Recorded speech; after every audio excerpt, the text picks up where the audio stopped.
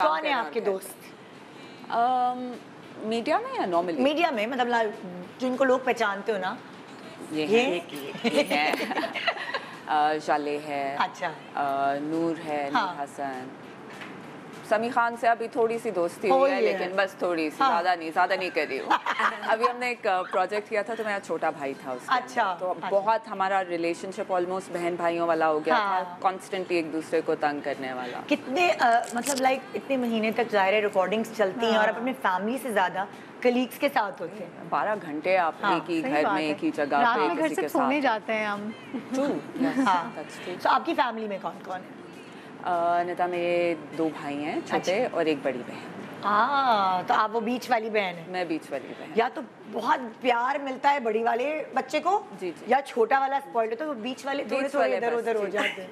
I तो आपकी ज़िंदगी में तो ऐसा कुछ नहीं हुआ। मेरी ज़िंदगी में एग्जैक्टली exactly ऐसा है।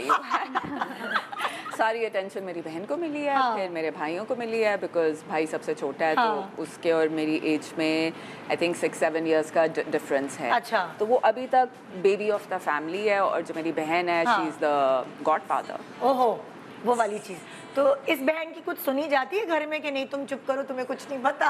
ये भी तो होता है ना एक इस बहन की जब कोई बहुत डेडली सिचुएशन हो जाती है ना इमोशनल होती है और किसी को समझ साइकोलॉजिकली नहीं समझ आ रही हाँ। होती तब इस बहन के पास आते हैं। वरना हाँ, नहीं। वरना नहीं वरना वरना नहीं। सो ये बहन पूरे घर में किस बात पे मशहूर है? जैसे अच्छा खाना पकाने में अच्छी गुफ्तगू करने में अच्छा घर डेकोर करने में। ये तो मैं यहाँ से भी पूछ सकती हूँ दोस्ती के साथ।